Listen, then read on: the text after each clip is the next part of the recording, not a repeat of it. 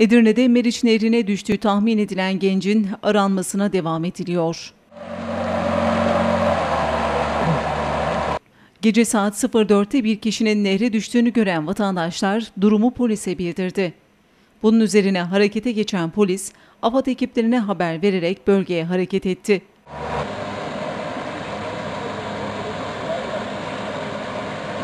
Olay yerinde araştırmalarını sürdüren polis, köprünün seyir terası kısmında bırakılmış bir cep telefonu buldu.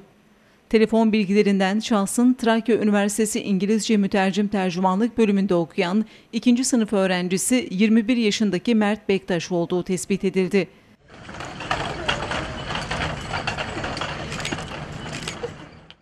Gencin bulunması için AFAD ekipleri nehirde gece arama yaptı. Ancak yapılan aramalarda herhangi bir bulguya rastlanılmadı.